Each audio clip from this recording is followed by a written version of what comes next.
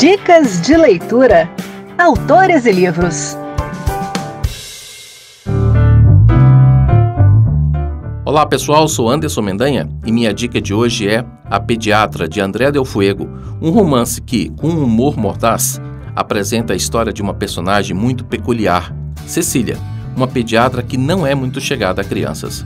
Cecília é o oposto do que se imagina de uma pediatra, uma mulher sem espírito maternal, pouco apreço por crianças e zero paciência para com os pais e mães que as acompanham. Porém, a medicina era um caminho natural para ela e assim ela seguiu os passos do seu pai.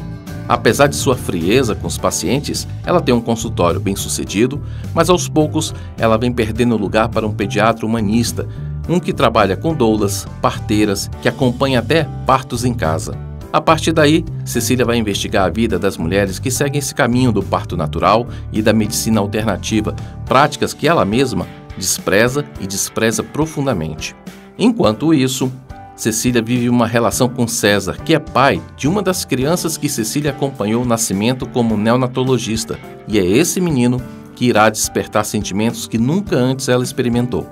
A Pediatra é um romance curtinho, 160 páginas. É uma leitura sem rodeios, direta, que nos dá a chance de nos encantar e desencantar facilmente com essa protagonista.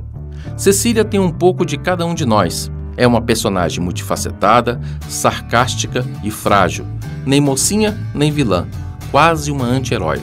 A Pediatra de André Del Fuego, publicado pela Companhia das Letras, pode ser encontrado tanto na versão impressa quanto na digital a gente encerra com um trechinho do livro na voz de Rita Zumba. Até a próxima, boa leitura. O consultório estava agitado.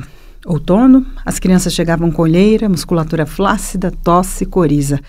Tratei todo mundo havendo a mesma receita salva no laptop, mudava só o nome. Os partos haviam rareado. Apareceu um neonatologista novo na área ele visitava os bebês em casa depois do parto, entrava pegando água na geladeira, usava óculos de armação colorida, tinha experiência dentro e fora do país, havia criado técnicas de conforto ao prematuro em hospital público de referência. Não cobrava uma fortuna e fez amizade instantânea com a obstetra que sempre fechou parceria comigo. Quem ela indicasse virava moda. Ela dava depoimento em toda a reportagem sobre ginecologia e obstetrícia, cobrava caro. Eu sabia que o neonatologista simpático era uma onda. Não ia durar muito.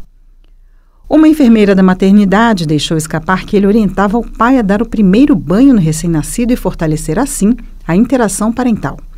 Para isso, colocava o pai de cueca debaixo do chuveiro segurando o bebê, deixava o box aberto para orientar, de olho no pai.